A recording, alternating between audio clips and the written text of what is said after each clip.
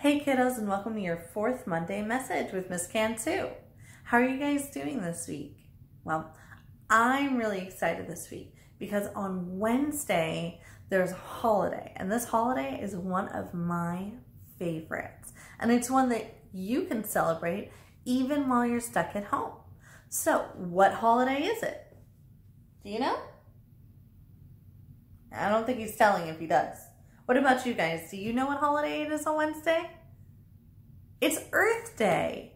Earth Day is a very fun, special holiday. We get to celebrate our own planet. Yes, the one we live on. It's called Earth. so what kinds of things can we do to celebrate on Earth Day? Well, many people will plant trees. They'll go outside and enjoy the weather if it's nice enough. Check your local forecast before you go outside. And then they will find ways to do things that will make the planet even better and help it stay healthy. So one thing that I like to do on Earth Day is plant trees. I also like to walk around parks and pick up any trash that I see because that helps keep some of the pollution away, right? Helps take away some of that littering, which we know is definitely a bad thing. So think about some ways that maybe you can help on Earth Day at home. Now, what I have for you this week, we are going to be reading a book, and it is one of my absolute favorites. We are going to read The Lorax. I hope you guys enjoy. Let's go ahead and get started. Alrighty, guys. So today we are reading The Lorax by Dr. Seuss. Now, I'm sure some of you guys have seen the movie before, but I think you'll be a little bit surprised to see how the book is different from the movie. So let's go ahead and get started. Ooh, we're looking a little spooky there.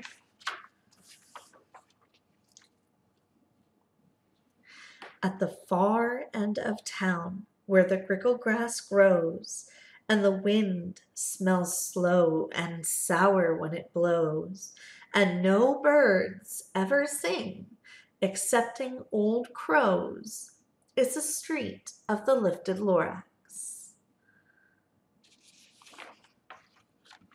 And deep in the grickle grass, some people say, if you look deep enough, you can still see today where the Lorax once stood just as long as it could before somebody lifted the Lorax away. What was the Lorax? And why was it there? And why was it lifted and taken somewhere from the far end of town where the grickle grass grows? The old Onceler still lives there. Ask him. He knows. You won't see the Onceler. Don't knock at his door. He stays in his Lerkim on top of his store. He lurks in his Lerkim, cold under the roof, where he makes his own clothes out of miff-muffered moof. And on special dank midnights in August, he peeks out of the shutters, and sometimes he speaks and tells how the Lorax was lifted away. He'll tell you, perhaps, if you're willing to pay.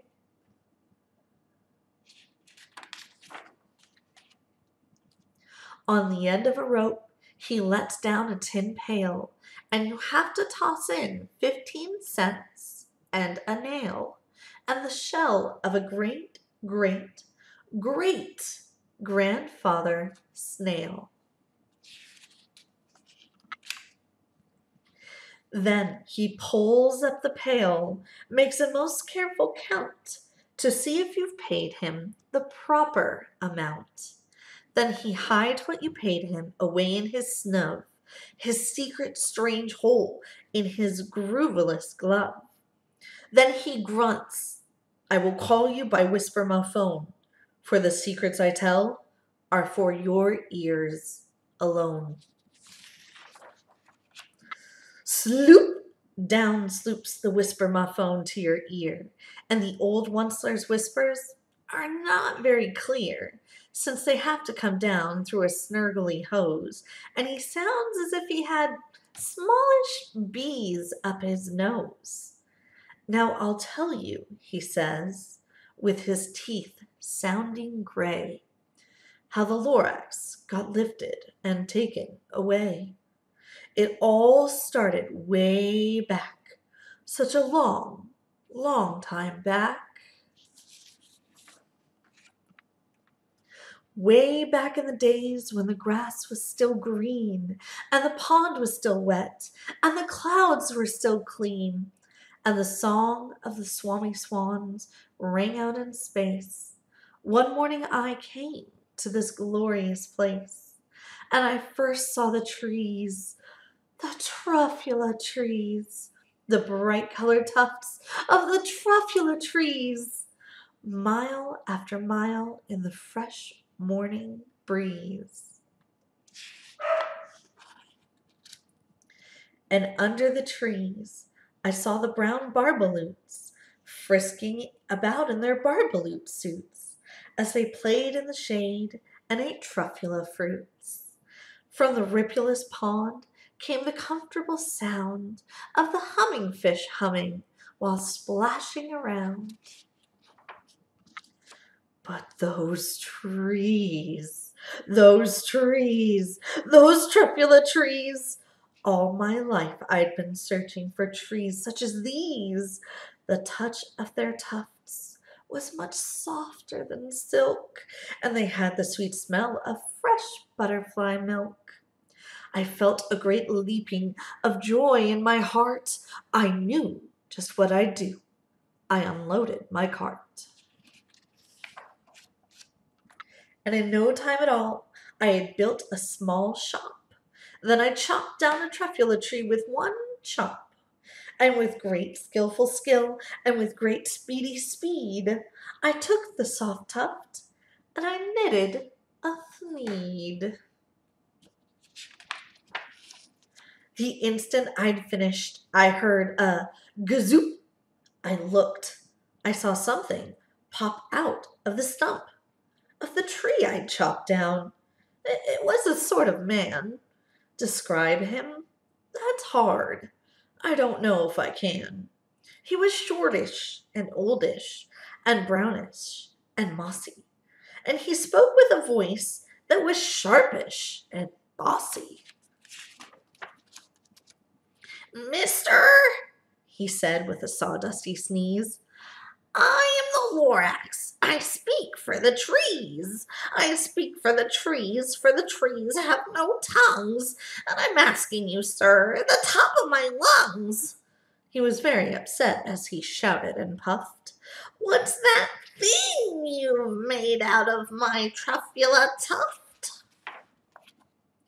Look, Lorax, I said, there's no cause for alarm. I chopped just one tree. I am doing no harm. I'm being quite useful. This thing is a thneed. A thneed's a find something that all people need. It's a shirt, it's a sock, it's a glove, it's a hat. But it has other uses. Yes, far beyond that. You could use it for carpets, for pillows, for sheets, or curtains, or covers of bicycle seats. The Lorax said, Sir, you are crazy with greed. There is no one on earth that would buy that fool's thneed. But the very next minute, I proved he was wrong, for just at that minute a chap came along, and he thought that the thneed I had knitted was great. He happily bought it for three ninety eight. I laughed at the Lorax. You poor silly guy. You never can tell what some people will buy. I repeat, cried the Lorax. I speak for the trees. I'm busy, I told him. Hush up, if you please. I rushed across the room and in no time at all built a radio phone. I put in a quick call. I called my brothers and uncles and aunts and I said, Listen here. Here's a wonderful chance for the whole Onceler family to get mighty rich. Get over here fast. Take the road to North Nitch. Turn left at Weehawken. Sharp right at South Stitch. And in no time at all, in the factory I built, the whole Onceler family was working full tilt. We were all knitting thneeds, just as busy as bees, to the sound of the chopping of truffula trees. Then, oh baby, oh, how my business did grow. Now chopping one tree at a time was too slow. So I quickly invented my super axe hacker, which whacked off four truffula trees at one smacker. We were making thneeds four times as fast as before, and that Lorax, he didn't show up anymore. But the next week, he knocked on my new office door. He snapped, I'm the Lorax who speaks for the trees, which you seem to be chopping as fast as you please, but I'm also in charge of the brown Barbaloots, who played in the shade in their Barbaloot suits and happily lived eating truffula fruits. Now, thanks to your hacking my trees to the ground, there's not enough truffula fruit to go round. And my poor barbaloots are all getting the crummies because they've got gas and no food in their tummies. They don't look very healthy or happy anymore. They loved living here, but I can't let them stay. They'll have to find food, and I hope that they may. Good luck, boys, he cried and he sent them away. I, the Onceler, felt sad as I watched them all go, but business is business, and business must grow, regardless of crummies and tummies, you know. I meant no harm, I, I most truly did not, but I had to grow bigger so bigger I got. I biggered my factory, I biggered my roads, I biggered my wagons, I biggered the loads of the thneeds I shipped out. I was shipping them forth to the south, to the east, to the west, to the north. I went right on biggering, selling more thneeds, and I biggered my money, which everyone needs. Then again he came back I was fixing some pipes when that old nuisance Lorax came back with more gripes. I am the Lorax, he coughed and he whiffed. He sneezed and he snuffled, he snarled, he sniffed. Onceler, he cried with a cruffulous croak. Onceler, you're making such smogulous smoke. My poor swami swans, why they can't sing a note. No one can sing who has smog in his throat. Now, guys, I want you to look at the color of that sky. And I'm going to flip back a few pages and I want you to compare it. You see that kind of darkish blue that we've got going on here. I want you to compare it to this blue. Do you guys see that there's a difference? So he's made so much pollution, he's actually changed the color of the sky. My goodness, this guy. And so, said the Lorax, please pardon my cough. They cannot live here, so I'm sending them off. Where will they go? I don't hopefully know. They may have to fly for a month or a year to escape from the smog you've smogged up around here. What's more, snapped the Lorax, his dander was up. Let me say a few words about Gluppity Glup. Your machinery chugs on day and night without stop, making gluppity glup, also schloppity schlop. And what do you do with this leftover goo? I'll show you, you dirty old Onceler man, you. You're glumping the pond where the humming fish hummed. No more can they hum, for their gills are all gummed so I'm sending them off. Oh, their future is dreary. They'll walk on their fins and get woefully weary in search of some water that isn't so smeary.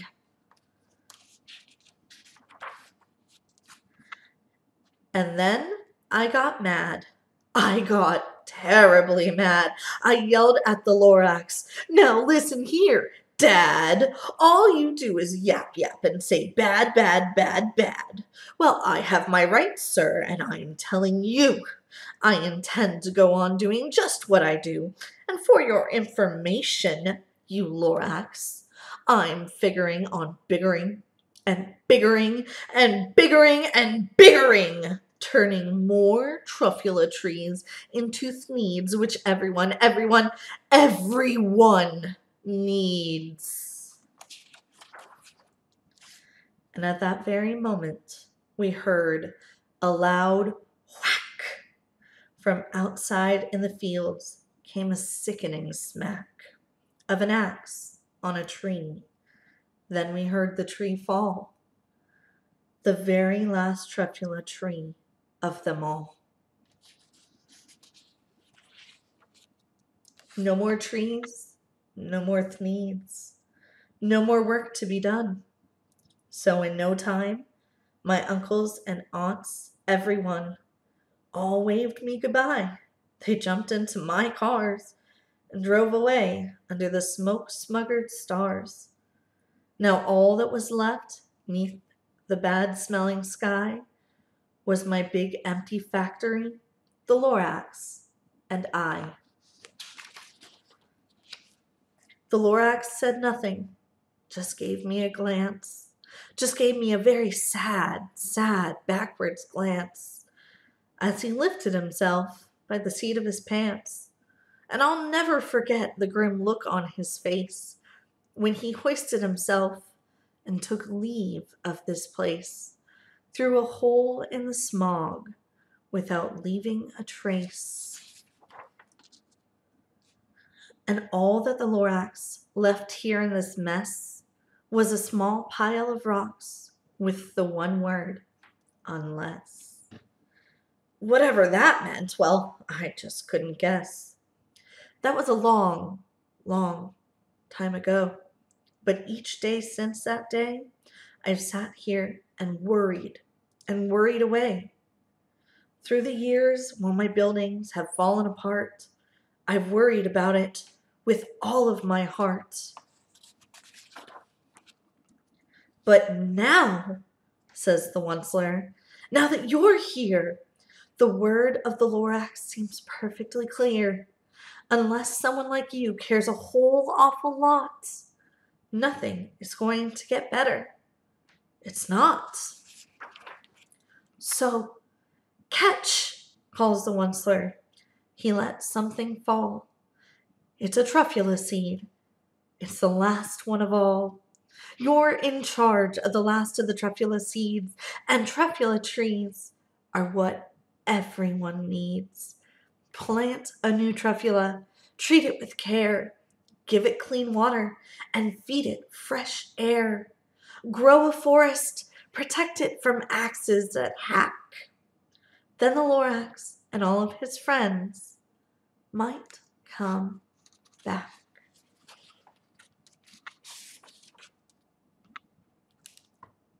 The end. So at the end of the book, there's a very special word that they say unless. They say, unless someone like you cares a whole awful lot, nothing is going to get better. It's not. And that is a really, really important message, kiddos, because one day you're going to be the ones in charge of the earth. And when you are, it's going to be up to you to care about the plants and the animals that are on this earth and to decide how we want to take care of them. Okay? So, my challenge to you for this week is to figure out one thing you can do to help the planet. It could be planting some seeds, it could be picking up some trash, or you could do something like making a poster to remind people not to litter, to save energy, to use resources wisely, but I want you to figure out one way that you can help our planet this week and maybe even moving forward into the future. All right, until next week, see you guys later. Bye.